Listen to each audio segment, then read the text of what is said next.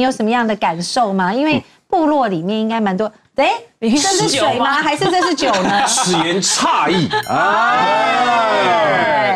听你娓娓道来，哎呦，你自备酒精是吗？这这浓啊！哎呀，白酒白酒。我们那个部落哈，还真的有一个阿妈，你知道吗？因为因为那个他有喝两杯的那个习惯，可是医生跟他讲说，你的那个身体状况其实已经哎不能再喝了哦，你要适可而止，就是不能再喝啊。他就呃回去就很忧郁，但隔没有多久，哎，那个医生就过世了。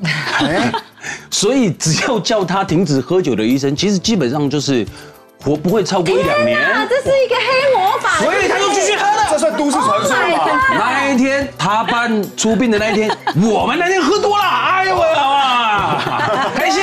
哎，然后而且我们早期在做那个呃，我们那个酒最早是小米酒嘛，嗯，然后它会留下那个酒酿，对。小朋友就是靠这个酒酿在发奶的，所以酒是好东西呀，帮助人类啊。这样听起来好像蛮合理，而且我们又是来自于部落几千年的智慧。对啊，来各位专家们该如何解嘞？不过我刚刚讲的这些哈，那男女生之间或者说一般人哈，他平均酒精负荷度才还是有每个族群不同的一个差异。因为像有些族群哈，它可能是传统延续下来，所以说它族群的筛选。可能就对于酒精是比较能够忍受的，对，有个内建的这个 app，有有可能，因为就是不会喝的就先被淘汰掉了，对，然后所以留下来的都是会喝的基因，然后不断不断的传承，然后大家就越来越会。喝。哇，你有遇过你的朋友或者你的亲朋好友之间是有不会喝酒，对啊，对酒精没有办法忍耐的人吗？也是有呢，就是有，哎，也有，然后只是说他因为这样的情况之下，其实他他的个性就蛮忧郁。啊，没有朋友。啊，没有朋友，在部落会没有朋友吗？对，大家都在喝，然后你说啊啊，没关系，我我呃我不啊，你不能喝哦，那其实就没有什么话题可以聊。Oh my god！他慢慢的患得忧郁症，你看可怕，嗯，要练习。生命延续下去，哇，对，哇，就像萨金努讲的，确实是我们酒精是一体两面。以生理的角度来说，现在酒精其实是被列为第七大危险因子，就是造成死亡跟疾病的危险因子。这是对健康方面，可是对于心理跟社交。像萨金刚刚讲的，确实，如果你没喝酒、没应酬，你的社交会有障碍，可能心情也比较难放松。对对，所以我觉得小酌是 OK 啦。怎么样，朱医师？听说你有这个病人，真的超爱喝的，真的超爱。他他以前是个建筑师事务所的负责人，哎，他就是以前应酬嘛，应酬习惯了就喝喝喝到他，其实他快要退休的时候，哎，好像那个习惯已经改不掉了。就是哎，餐前必须要来一杯餐前酒，睡觉前要睡觉一个安眠酒，喝喝喝到最后，哎，奇怪，怎么哪一天肚子常常不太舒服啊？这肚子太大了起来，他也不以为意，中年发胖还是晚年发胖这样子，结果去肠胃科一检查，哇，不得了，肝脏就出了毛病。然后呢，他想说已经到这一步了，他就继续喝了，有一点类似半放弃这样，他其实很快就已经就离开了。好，他要在人生的最后还贯彻他的意念，这个是。喝酒的最高境界，从一而终啊！哎，可是你这么推喝酒的话，是你觉得在你身上有什么样的健康的好处？对啊，哎，其实我这个喝酒，其实哎，我的体质会跟人家比较不一样，我比较不怕冷，就是我的耐寒度啊，然后然后然后跟那个心肺，哎，比较好哎，啊，哎，我甚至在海拔两千五以上，然后就会就会，其实是我们那边的猎人就说，哎，你如果觉得你身体不舒服，我跟你说，高山症的感觉，这时候喝喝喝个一两杯。那个血液嘛张开之后复活，对哇，当下就复活了，满血回归吗？对，从两千然后你可以直接跳到两千五，不可能是部落的骄傲吧？没有没有没有没有，那是救命的骄傲。这个应该算是比较特殊的嘛，因为我听过人家就天冷然后感觉冷然后喝酒然后就死掉了。对，因为其实酒精对血管的作用是会收缩，不是张开。哎，所以这是为什么？那是啤酒吧？我们是喝高粱哎，这都一样啊。哥，你是不是要讲？张美迪，你确定是真的酒吗？不是咱们得找一个理由。是，公安局会倒啊。我懂，我懂，我懂，我懂。这个哦，不过他那个状况是因为说哈，我们不管是喝酒或是抽烟的时候，有时候是那个心脏，它相对会觉得说，哎，负担有点增加，所以它心脏会加速马达加速作用。这就是我们会觉得说，哇，冬天比较有事，因为我们那种躯干会比较暖的一个原因，热起来的感觉。对，会热热起来。不过其实要小心，就脑血管而言，它其实是缩的，所以喝酒是增加有一些有中风风险的病人呢，那可能更遭中风死亡的原因。哦，难怪很多人喝一喝就中风了，这样。对对对对对，千万要小心。如果喝完酒哈，那头觉得不舒服，胀胀的，红了。好，这个是台湾人特别要注意的。酒精在我们人体肝脏的代谢哦，是从乙醇变成乙醛，再变乙酸嘛，对不对？嗯。可是这个去青酶，有些人脸红是怎么？就是因为中间这个乙醛浓度比较高，这代表什么意思？这个去青酶哈，哎，它中断了，比较少，不够。去青酶不够的人哈，他其实乙醛就会留在体内。其实乙醛的氧化能力很强，超级自由基，而且还是致癌物质。对，是世界卫生组织的已经列成致癌物。对，哦，所以就是说，如果我们喝完酒之后呢，我们的脸就会变红，对，太红太红，可能喝一小口就变超红超红。对，哎，这时候就不能逼他喝酒，对，因为他有可能这个酒精的毒素累积太快，代谢不了，对，没错没错，整个崩溃掉，甚至还要劝他赶快去就医，是不是？就是。是吗？其实就是这种这种就是不能碰，不要逼他喝酒。不不不不，我们自己都不太够。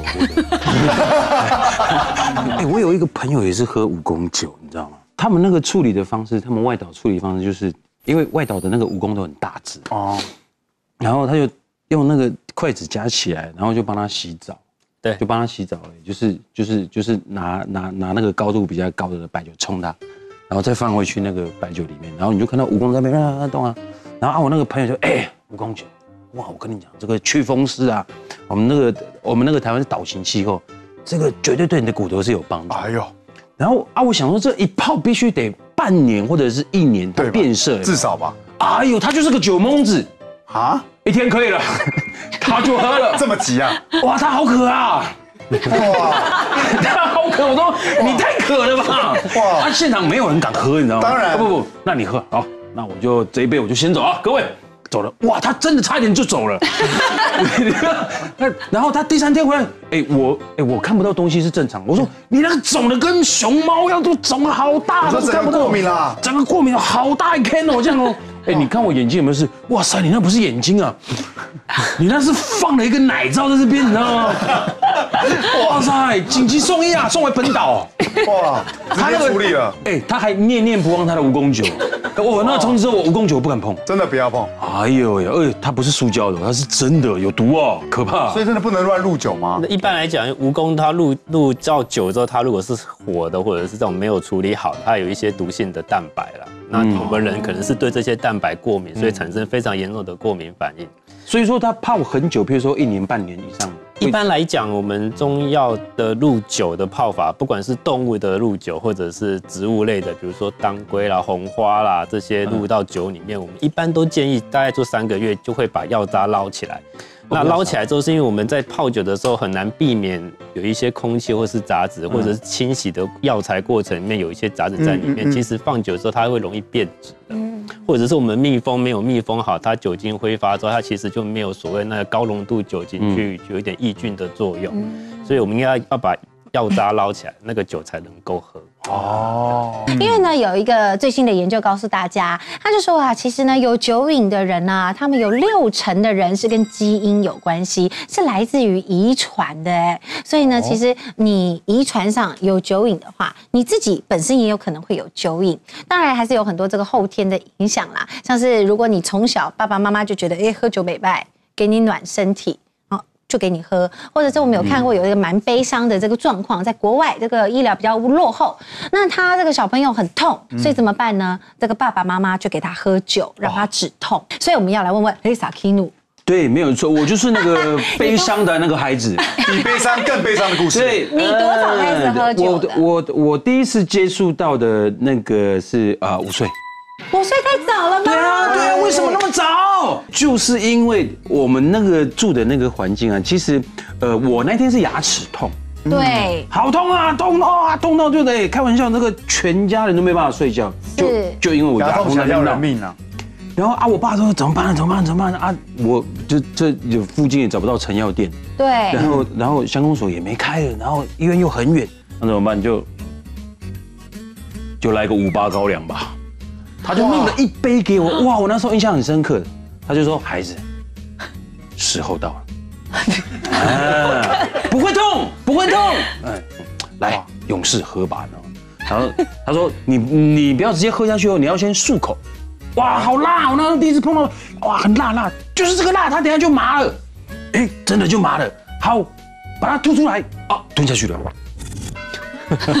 你怎么吞？呃，我不知道放哪里啊。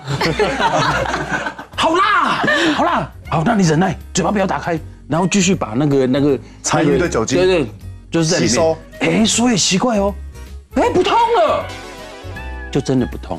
然后早上呢，哇，我好牙齿好像还有一点痛，有医院了，给我去医院啊。哦他以为我还要再喝，没有，非常悲伤的一个故事。对，好了，到底就是从从小就被告知说小朋友是不能够喝酒的，而且呢，小朋友如果喝酒，说脑袋会烧坏，连烧酒鸡都不太敢给他们吃。那这应该是有科学根据的吧？其实我们都是说尽量是成人的，而且这个成人不只是我刚刚一直强调的那个那个去青梅的浓浓度哈，而且还包含说这个人的身体的重量。哦，为什么说女生会承受比较少？不只是去青梅比较少，那同时她通常女生平均的体重也比较也比男生来的轻嘛哈。那小孩子更不用说是他们第一个哈，他们有些酵素哈，在那个呃这些长大的过程中还不是那么的成熟之外呢，重点是他们是体重是很轻很轻的啊。对，哦，所以说我们喝那种什么，你觉得酒精比较低，可能在他身上可能作用还是很敏感。你接下来还有继续喝酒吗？还是你就有乖乖等到十八岁再喝了？就乖乖等到十八岁，就是因为那一次牙痛，我就喝这么第一杯而已，就是那一杯。哦，对，然后隔天就去拔牙。哦，对啊。